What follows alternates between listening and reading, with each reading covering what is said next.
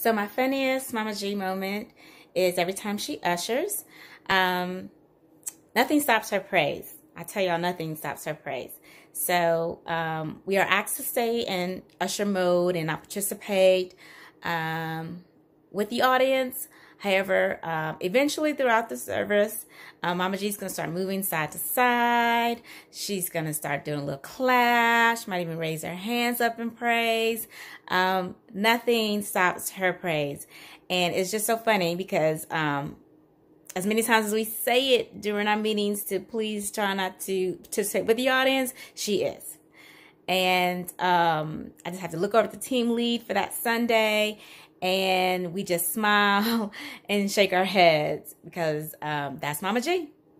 So I just want to say that we love you, we appreciate you, and happy birthday, Mama G.